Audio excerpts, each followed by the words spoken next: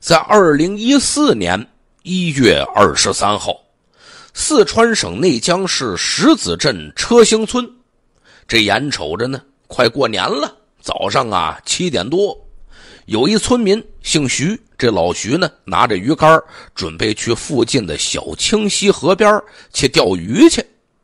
刚走到河边，老徐啊，突然眼睛可就放光啊！怎么着呀？这地上啊，有张百元大钞。老徐一看，哎呦，我今天运气这么好啊，这就捡钱了，这个呀！老徐心里边高兴啊。赶紧弯腰就捡起来这钞票，果然是百元大钞啊，不是假的，是真的。可不对劲儿啊，这钞票上边怎么还有血呀？不过再一琢磨，有血怕什么呀？洗洗不就完了吗？能花出去就好。这老徐呢，就来到了河边，就打算呢用水把这点血呢洗干净喽。大清早的捡着钱了啊！这还真应了那句过年时候总放的歌了：“左眼皮跳跳，好事要来到。”你看这好事这不就来了吗？老徐呢，心情不错，一边洗着钱，一边还在那哼着歌呢。可就在这时候啊，不经意抬头就望向河面，这一眼可就把老徐给吓着了。哎呦！那是啥呀？这、这、这、这怎么越看越像个人呢？老徐啊，就感觉自个儿这颗心脏啊，跟坐过山车似的，上窜下跳的。再看看手里拿着的这带血的百元大钞，突然就觉得有点扎手了。这哪是好运到啊？这是一大清早出门，这就撞了邪了呀！随后呢，老徐也不敢要这钱了，赶紧把钞票原封不动的放回地面，又在那阿弥陀佛的念叨了好一阵呢。等他稍微缓过神来一点啊，赶紧就报了警了。内江警方呢赶到现场，把那具尸体就打捞上岸了。经过勘查。死者是一名年龄在三十岁到三十五岁之间的女性，身高差不多是一米五八左右。死亡时间呢，大致是在一月二十三号凌晨。死者的死状啊，非常的凄惨。纵然是办了那么多案子的民警，看到之后，这心里边也稍微的有点打哆嗦呀。经过法医鉴定，这个死者的头部。被砍了五刀，面部被砍了九刀，颈部也就脖子上被砍了五刀，手部还有多处抵抗刀伤，看得出来他是想用双手来躲避对方的砍杀。由于对方砍杀的力度非常的大，这个女人的左脸呢是血肉模糊，完全看不出来本来面目了。看来对方这是下了狠心。就要置他于死地，一点犹豫也没有啊！警方呢，立刻沿着河边进行寻找，在下游二百米的位置，又找到了一个黑色塑料袋。这黑色塑料袋里面装着一件带血的红色羽绒服。这羽绒服上啊，那血呀都沾满了，这场面是触目惊心。女尸的身上呢？没有穿外衣，这件红色羽绒服应该就是他生前穿着的。在后期的痕迹鉴定之中，也得到证实了，衣服上的血迹属于死者，没有找到其他人的生物痕迹。咱之前不说了吗？老徐捡着的那百元大钞上面不也有血吗？经过鉴定，也是属于死者的。除了这百元大钞之外，其实在这钞票旁边还有一个打火机呢。所以初步来看，现场遗留的物品还是挺多的。遗留的东西越多，按理说啊，那么破案的线索也就会越多。但是警方啊，并没有能够获得更多的线索。这儿呢是农村，也没有天网系统覆盖，到底是谁做的案呢？这时候啊，成了未解之谜了。警方就想着咱们呢？转换一下思路，别想着凶手是谁，先琢磨琢磨死者是谁吧。从死者的身份开始查起，可能会有突破。可这时候又犯难了，怎么呢？这死者的左脸被砍得太严重了，完全看不出来长什么模样，这就给他的身份带来巨大的难题。实在是没办法，警方呢只能找来那照相影楼的会 PS 技术的师傅。以这女尸的右脸为参照，对她的左脸呢进行一个简单的修复。但说实话，这师傅平时人是给活人修照片的，人也没干过这事儿啊。当时啊，复原出来呢也还是比较粗糙的，没有那么准确。随后二十多万份寻尸通告就被张贴在了内江的各大人流密集的地方。可是。这通告发出去了，一点音讯也没有啊！当然了，警方呢也在小清溪河周边的所有村子进行了细致的摸排走访，有没有失踪人口啊？有没有年龄相仿的女性？有没有什么可疑人员呢？所有的可能性都被一一的梳理，但是没有人认得死者是谁。这时候，民警就想：难道他不是内江本地人？那要不是内江人，他的尸体为什么会被抛到这个村子的河流之中呢？这起案子呀，就这么一点一点的查，但始终查不出个所以然来。时光荏苒，岁月如梭呀，这时间呐，慢慢可就过去了，一年、两年、三年、四年。几乎是每一年，内江警方都会把小清溪河女尸案重新的梳理一遍，重新的进行研判，但是还是没有一个结果。直到二零一八年，内江警方得知沈阳刑警学院拥有着最新的人像比对复原技术，于是赶紧带着相关资料就赶过去了。等了四年，死者的面容。这才完整的复原出来，这时候就等于有了最接近死者的照片了。内江警方呢，随后在全国联网的失踪人口数据库里进行了比对，这一比对啊，果真就有了结果：一名来自湖南怀化的失踪女人的照片和死者的复原像是高度的相似。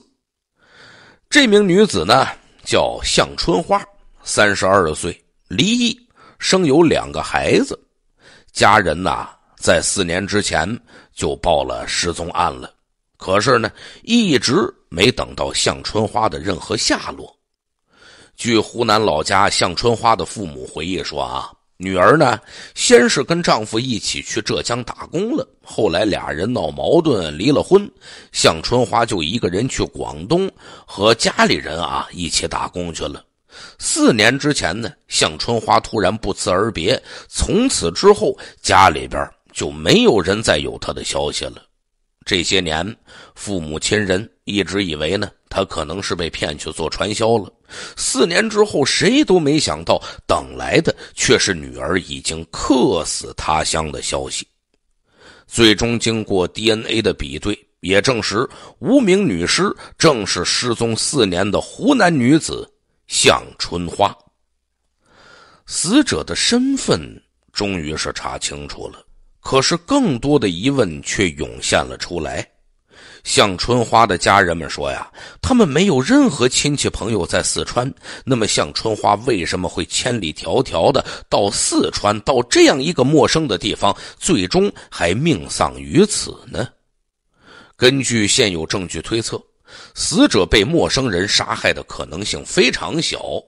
一般陌生人杀人，因为口角也好，因为钱财也好，不会下这样的死手。能够让孝春花远赴四川的那个人，一定是让向春花无比信任的。那么，这个人是谁呢？警方决定啊，从向春花的情感方面首先进行调查。在此期间，有两个男人。被列为了怀疑对象，怀疑对象之一就是向春花的前夫。这个人呢，跟向春花一样，也是湖南怀化人。早几年呢，染上了毒瘾，就喜欢赌博啊。由于孩子呢患有疾病需要治疗，向春花就一度对丈夫特别的失望，俩人呢就不断的争吵，从那时候就开始闹离婚。几年之前呢，为了挣钱给儿子看病，夫妻俩一起就到浙江打工。可是，在打工期间呢，这向春花的丈夫呢怀疑向春花跟一个叫王涛的工友有不正当的男女关系，最终俩人还是离了婚了。那么，她的前夫有没有可能是因爱生恨，从而杀害前妻呢？上期节目咱们提到了。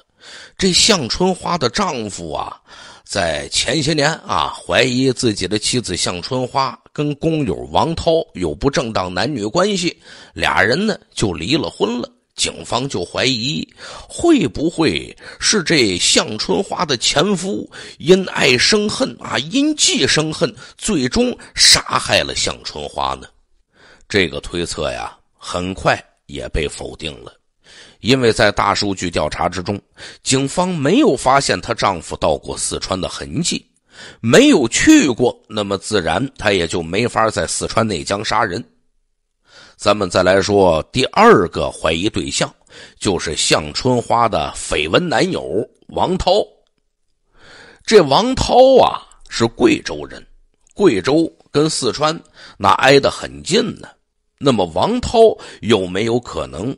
把这向春花带到四川内江，并且杀害她呢？但是最终分析来分析去，这个推测也被否决了，因为王涛也没有到过内江的任何行踪轨迹。查来查去，这案子又回到起点了。那么，这个能让向春花大老远赶过来的人到底是谁呢？这时候啊，前往广东。调查向春花打工时候情况的小分队就有了一些消息。据工友们说呀，向春花当时在工厂里边特别喜欢打电话，而且呢喜欢背着大伙拍视频。另外还有人说，向春花曾经买过一部高档手机，这部手机的价格跟他打工的那薪水啊，那是完全不相符的。打电话、拍视频、新手机，所有的细节似乎都显示出来，向春花应该是在跟谁在谈恋爱呢呀？这人不可能是她的前夫。经过调查，也排除了工友王涛的可能性。那么，这个人到底是谁呢？有没有可能通过调查向春花的通话记录就能把这个人给揪出来呢？这个猜测也得到了向春花前夫的认可。原来啊，案发之前不久，她的前夫呢就给她打电话，目的呢就是想跟她复婚，毕竟想着俩人还有俩孩子呢呀。可是向春花对前夫态度很冷淡。大多数情况就是不接电话，哪怕接了，说话也不好听。最终呢，这向春花的前夫就了解到，向春花换了新手机了，换了新号码了，言谈举止之中似乎是有了新的男朋友。警方啊，顺着这条线索就调取了向春花新手机号码的通话记录，在案发那一个多月的时间里，那么多的通话记录之中，果然。出现了一个神秘号码，这个号码一个月的时间和死者向春花通话二十多次，最长的时间达到了一个小时。在追查这个号码的持有人吧，调出数据这么一看吧，内江警方这心里呀，就算是有了底了。为什么呢？这号码的机主叫夏洪全，四十二岁，就是四川内江人。咱们之前不也提吗？一直困扰警方的问题就是死者为什么会出现在内江？现在查出来，这夏洪全就是内江人，这会是巧合吗？同时，调查夏洪全显示，夏洪全曾经有过犯罪记录，有过前科，因为抢劫罪坐了四年的牢，出狱之后呢，做过保安。在暗中走访的时候啊，警方呢还从夏洪泉的亲戚那儿得知，二零一三年左右，夏洪泉还跟家里人说过，谈了一个女朋友是湖南人。如今所有的证据都指向了夏洪泉，抓捕工作势在必行。此时的夏洪泉呢，正在四川成都一家高校的食堂，在那儿做杂工呢。由于他长得人高马大，特别结实，为了抓捕的时候不要危及到路人的安全，警方决定啊，伺机而动。咱们呢，别那么冒冒失失的。正好这时候夏洪泉有事回了内江老家，警方当然不会错过这机会啊，在村子附近把夏洪泉就抓获了。面对突然出现的警察，夏洪泉还显得很无辜呢。一开始啊，什么事也不承认。经过几天的心理攻坚战，他终于情绪上出现了波动了。这一天呢，夏洪泉提出来想见见自己的母亲。警方知道这是嫌疑人准备招供了。见到体弱多病的老母亲，夏洪泉扑通一声跪在地上：“妈，我对不起你，那件事儿是我做的。原来啊。”几年前，夏洪泉也在浙江打工，跟向春花还有向春花的丈夫都在同一个厂子。由于向春花在工友里边算长得比较漂亮的，夏洪泉呢对她印象就挺深刻。不过一开始啊，俩人也没有什么交集，那就是点头之交。当时。正是向春花的丈夫怀疑向春花和王涛有染的时候，正在跟他闹离婚呢。这天，夏洪泉看见向春花一个人在角落里在那哭呢，就上去问他，关心关心怎么回事啊？向春花呢，心思相对来说还是挺单纯的，正好找人倾诉呗，把自己和丈夫的矛盾冲突、心里边的委屈一股脑全说出来了。也就从那时候起，俩人的关系从普通朋友变得更加亲密了。夏洪泉当时呢，正好结束了第二段婚姻，家里边还有孩子，自己呀也非常想要再婚，我还得找个媳妇儿啊。眼前漂亮的向春花符合夏洪泉所有的择偶标准，于是呢，他怂恿着向春花和丈夫离了婚。那么向春花跟那王涛有没有关系呢？其实人家俩人之间的那是清清白白。离婚之后的向春花，先去了广东和父母待在一起。不过他跟夏洪泉呢，一直保持着亲密的电话联系，就谈起了异地恋。几个月之后啊，夏洪泉觉得事情有点不对劲儿，连续好几天晚上十点多，他给。向春花打电话，居然都是一个男的接的。有一回，那男的居然说：“啊，他在洗澡呢。”随后就挂上电话了。哎呦，这什么情况啊？夏红全觉得这事儿不对，就问向春花呗。向春花的解释是说，那个男的呀喜欢她，在追求她，但是他没同意。夏洪泉哪信的？没同意，没同意。深更半夜的，俩人就就就睡一个屋里啊啊！还还还你洗澡的时候他还接电话呢，那那不可能啊！给这夏洪泉气的呀！对于这样的一个事态，他是完全无法接受。这夏洪泉就认为一定是向春花自己不检点，这样的女人不能要，不能跟他结婚。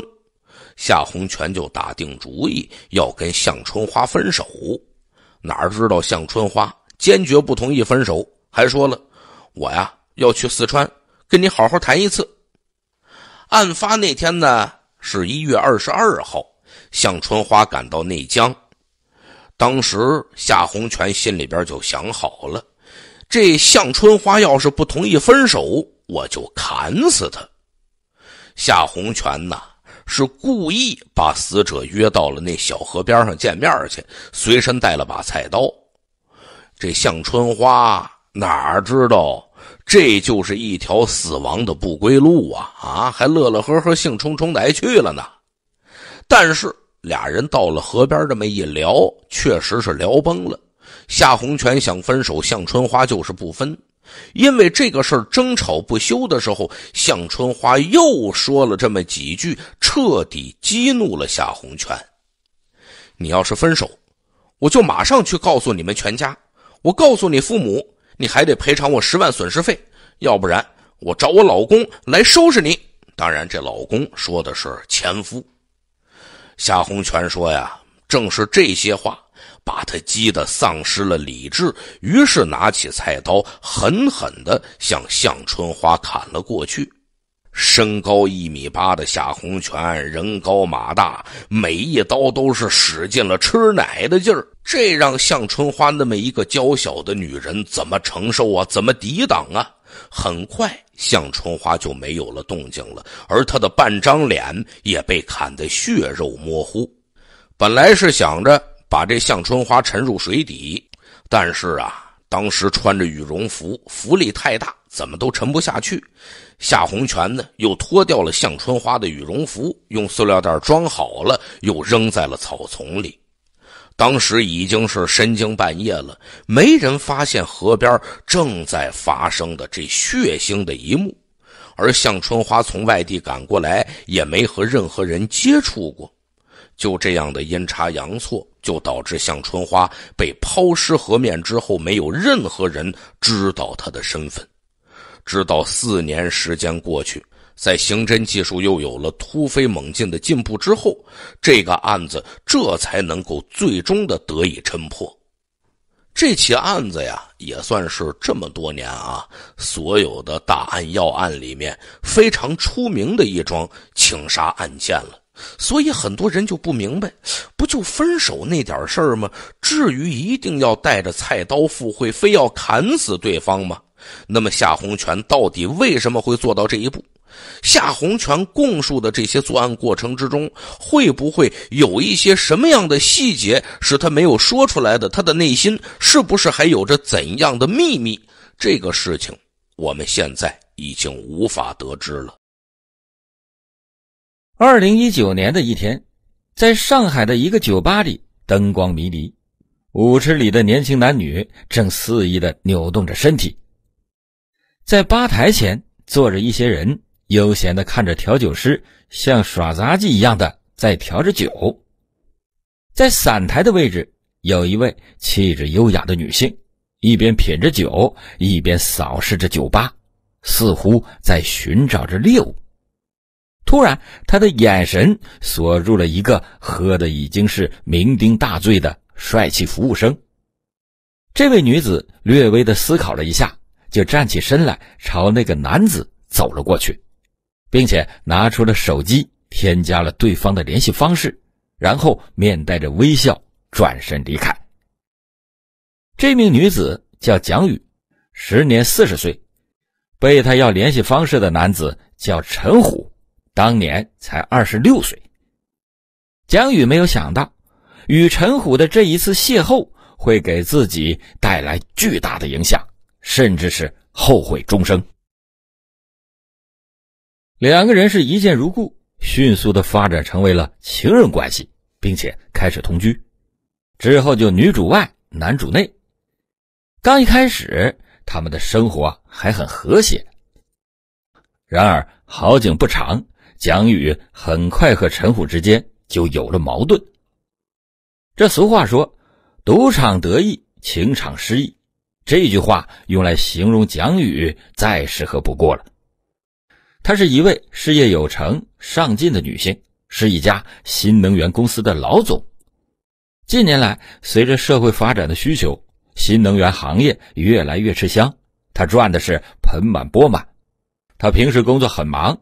丈夫曹学志也是常年的在外地工作，两个人没有太多的相处时间，就这样长期异地，使得他们之间的感情愈发的疏远。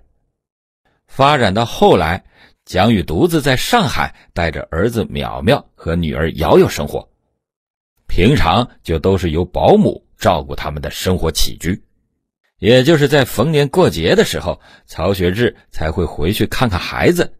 对于妻子的事情，他几乎是一无所知。可以说两个人已经是貌合神离。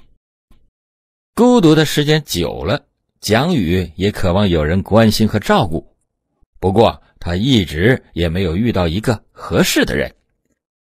直到二零一九年，他在一家酒吧遇到了外表帅气高大而且年轻的陈虎，加上了联系方式之后，蒋宇就和陈虎见了几次面，他就发现陈虎这个人很体贴、很热情，对他的印象也不错。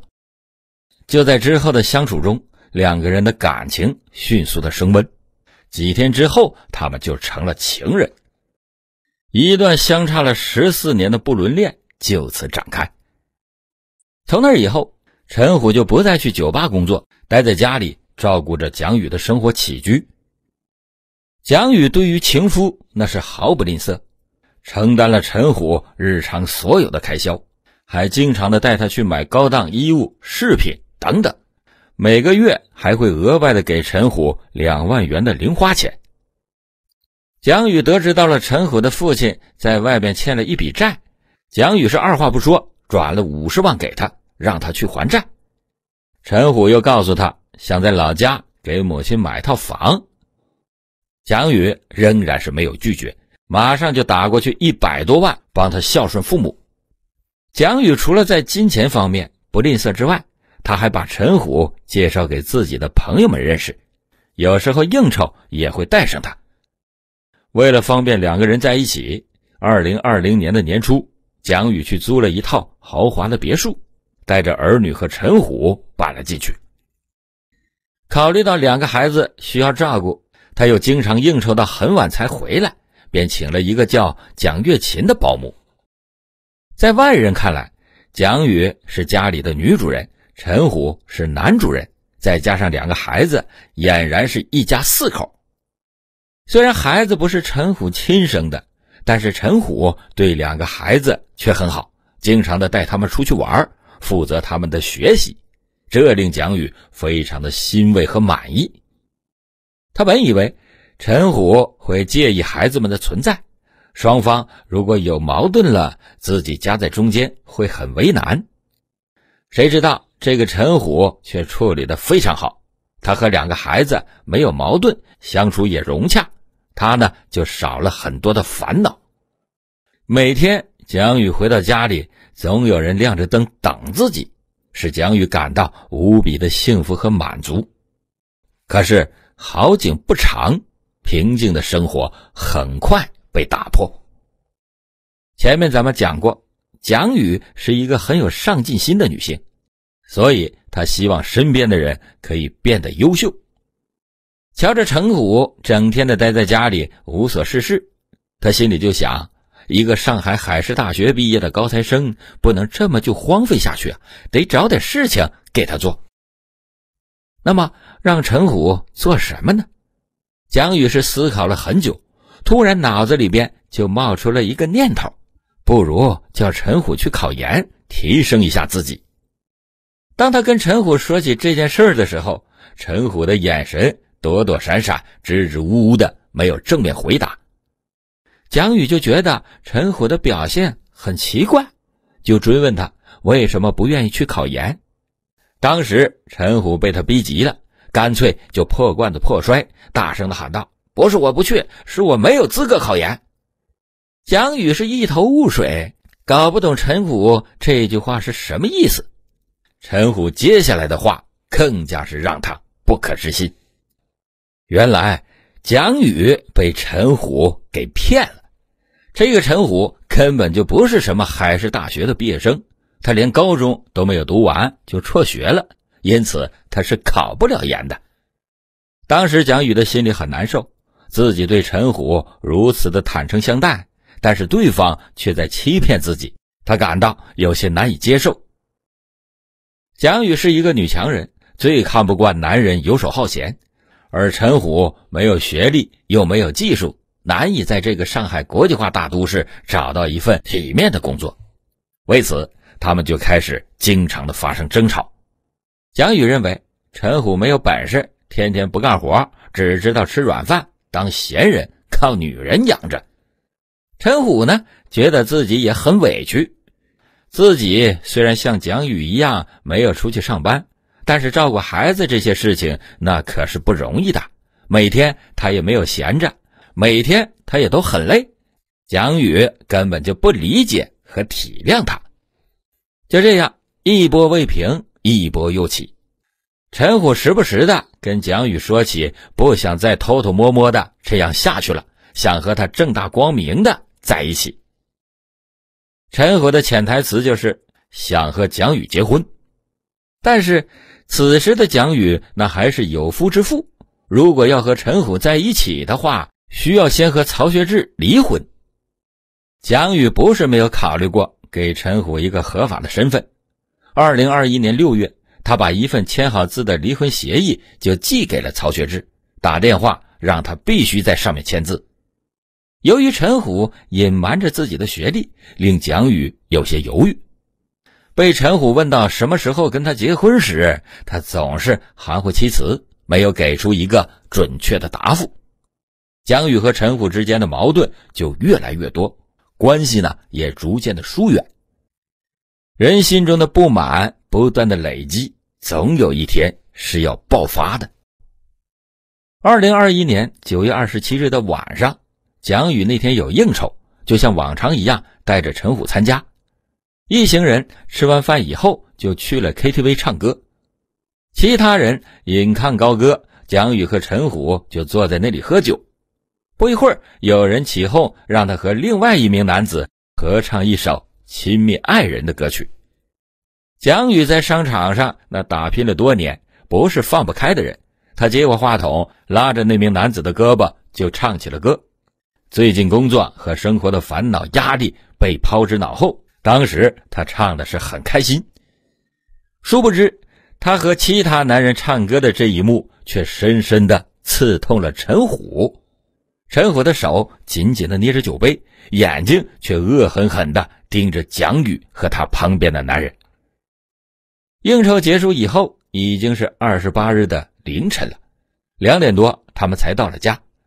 一进入到卧室，陈虎一把就抢过了蒋宇的手机，把他狠狠的摔在了地上，大声的质问蒋宇。你当着我的面和别的男人唧唧我我的，你把我当什么了？蒋宇知道陈虎已经喝多了，就不想跟他吵，解释说这只是应酬，没有其他的意思。但是陈虎却不依不饶。这时，蒋宇心中积压的不满情绪彻底的爆发，就开始数落陈虎的不是，并且对他拳打脚踢。他心中积压的不满情绪彻底的爆发。陈虎这时目露凶光，一下子就扑了上来，掐住了蒋宇的脖子，让他给自己道歉。刚刚在车上是怎么打他的，就怎么打自己。蒋宇只是一个手无缚鸡之力的弱女子，根本就反抗不了，呼吸就越来越困难。他知道好汉不吃眼前亏，就服软了，照着陈虎的画作扇自己的耳光。忽然，陈虎就冲下楼去。蒋宇以为他离开了，可是没过几分钟，便看见他又回来了，而且手里还拿着一把水果刀。霎时间，蒋宇就慌了，他想去夺刀，可是他的力气有限，没有成功。陈虎很快冲到了孩子的卧室，拿起了刀，狠狠地捅向了正在熟睡中的孩子。见孩子受了伤，蒋宇一下子就崩溃了。一边大叫，一边和陈虎扭打在了一起。过程中，他被划伤，浑身是血。楼上的动静很大，就惊醒了保姆李月琴。他跑到二楼一看，发现陈虎正在捅人，两个孩子也倒在了地上，想夺过他手里沾了血的水果刀，但遗憾的是，他没有能力阻止陈虎作恶。惊慌之余，李月琴就拨打了青浦公安分局的报警电话。颤抖的说：“赵相这边，赵相这边，快点，快点！家里打架了，都晕倒了，两口子生气。”他先后拨打了两次报警电话，打完之后，在门口焦急的等待着警察的到来。当时觉得是度日如年。警察很快的到来，他立马的带着上楼。可是眼前的一幕让他们十分的震惊：蒋宇和两个孩子倒在血泊之中，已经昏迷过去。陈虎倒在床上，已经断了手柄的水果刀掉在了地上。大家以为陈虎也已经昏迷的时候，可是他突然醒了，竟然又向蒋宇扑了过去，被民警及时的制服。蒋宇以及他两个孩子被送到了附近的医院进行抢救，可惜的是，年幼的瑶瑶因为伤势过重，不幸离世。眼前的这一切给儿子淼淼留下了巨大的阴影，需要做长期的心理治疗。因为一个情人，蒋宇失去了懂事听话、可爱的女儿，儿子从此也变得沉默寡言。